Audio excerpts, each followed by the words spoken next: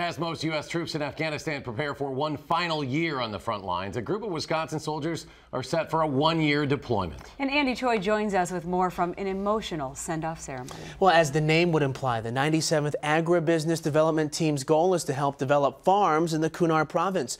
But as these soldiers sow the seeds of an Afghan future, they'll be holding strong to the roots back home.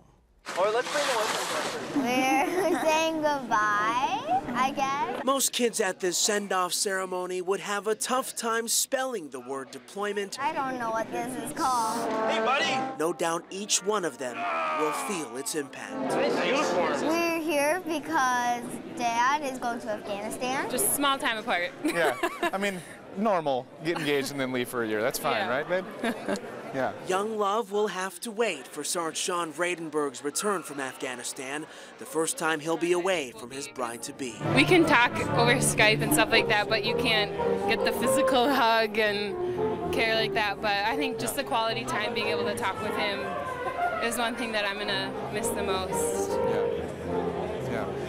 We've a good praying for him a lot. It wasn't long ago parents like Corey Vradenberg shielded their young soldiers from harm's way themselves. My baby. Going away.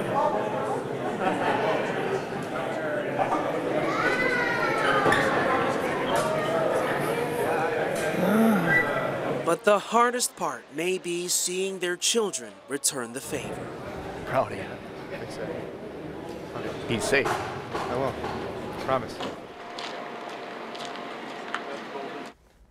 The 97th ADT now heads to Camp Atterbury, Indiana for several weeks of mobilization training before their deployment to Afghanistan. And we thank them for what they're doing. Absolutely. we Come wish- home safe. Absolutely. Andy, thank you. You're